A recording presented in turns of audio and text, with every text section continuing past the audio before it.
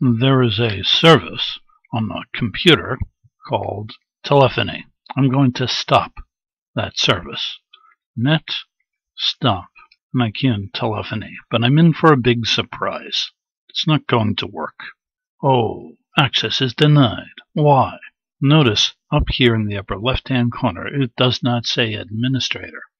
I do not have the authority to do this. Let's change that now. Go to start. I'll key in command.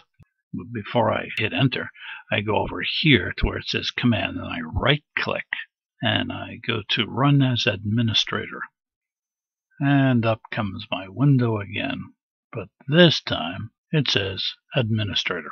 And just look in the upper left hand corner and there it is. Alright, very good. Let me change directories to the root. Clear up the screen. And now let's run that command again. Net stop telephony. I'm going to stop this service now. Hit enter. It's stopping. Why? I am administrator, upper left hand corner.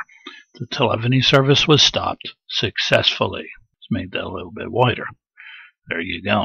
Next thing I want to do is I want to start it back up again. Net start.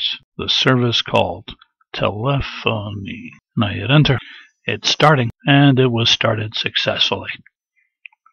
This is George Boole. Please share and rate this video, and good luck.